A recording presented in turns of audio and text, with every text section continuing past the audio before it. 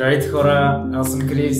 Изключително много се забавлявам, когато правя забавните клипчета, наистина ми харесва. Бих искал да имам времето, в което просто да седна в някой уютен ъгъл, както днес, и да имам нещо като разговор с вас. Без скетчове, без простоти, без някакъв сложно намислен сценарий. Просто автентично време, за да стане после автентично и качествено видео. Тази поредица от такъв тип видеа ще се казва относно Еди какво си и ти, вие имате голяма роля в това. Не искам да говоря само върху моите си теми и нещата, които мен ме интересуват, но ме интересува и вас какво ви интересува.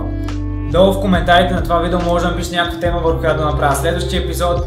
Може да е някакъв проблем, през който минавате някаква ситуация, през която сте минали, или нещо, което ви вълнува, или нещо, което просто искате да чуете моето мнение. Не се смятам за някакъв философ или някакъв велик учител, че да раздавам съвети за живота. Просто с удоволствие бих споделил моето лично мнение от моята гледна точка, от моята перспектива на някой въпрос, някоя тема, която вас ви интересува, нещо, което мисля, че може да по някакъв начин да ви помогне или да ви окоръжи, или нещо, което на мен ми е помогнало и може да помогне на вас. Съгласни?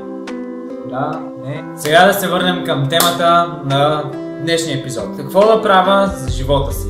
Преди около година, година и половина направих видео с точно това заглавие какво да правя за живота си, но гледайки го сега, не мисля, че кой знае колко изчерпателно. Затова днес ще навлезем по надълбоко в темата. Като тинейджър и излизайки и общувайки главно с тинейджери, виждам, че това е доста голям проблем сред нас.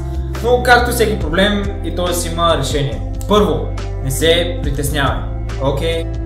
Това да не знаеш какво да правиш в живота си, да не знаеш какво да работиш, е напълно нормално. Така че не се притеснявай. Не се притеснявай, че се притесняваш за твоето бъдеще. Всички минаваме през този етап. Никой не се ражда с готов план график за живота си. Никой, никой бебе не идва на бял свят, казвайки на майка си Мамо, донеси ми калкулатора, защото аз порасна ще стана счетоводител. Е, слава богу, не. Някои хора от по-ранна възраст се насочват живота си, други по-късно.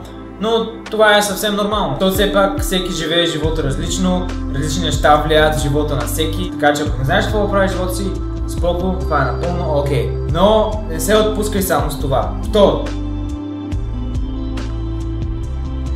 Моят съвет винаги би бил след да се развивате в нещо, което обичате да правите, нещо, което харесвате да правите, нещо, което ви доставя удоволствие, когато го правите, или пък нещо, в което знаете, че сте.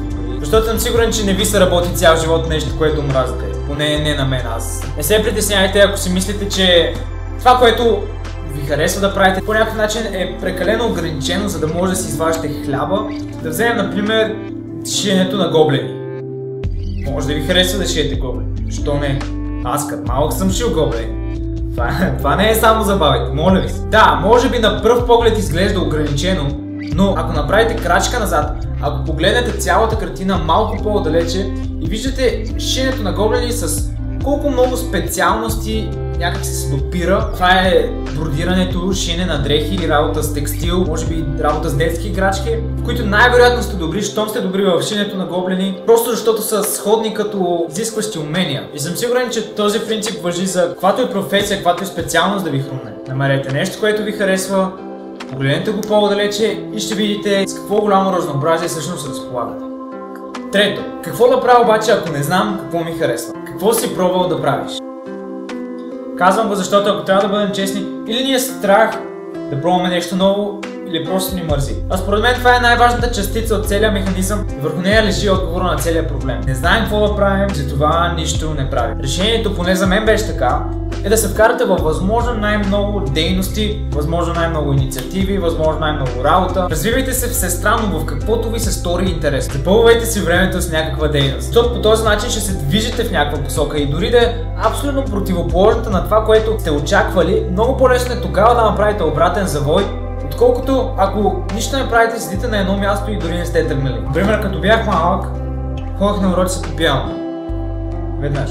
Просто не ми беше интересно, което беше окей, защото по този начин разбрах, че музиката някакси не е моето нещо, някакси. След това занимавах с какво ли не, занимавах с хип-хоп танци, с актьорско майсторство, с рисуване, видеообработка. По едно време даже правих тениски, пробвах всякакви различни неща и съм сигурен, че благодарение на това аз знам какво да правя в живота си и знам в каква посока искам да се развивам и знам къде искам да стигна. Това, което искам да кажа е, че няма как да стигнеш до място, в което искаш да стигнеш един ден, ако не тръгнеш, ако не запалиш колата, ако не потеглиш. Така че просто станете и направете нещо. Just Do it! Ух! Но съм сигурен, че това рано или късно ни помага да намерим нашата пътека, нашия път в живота. И това според мен е отговора на целият проблем. Поне за мен беше така.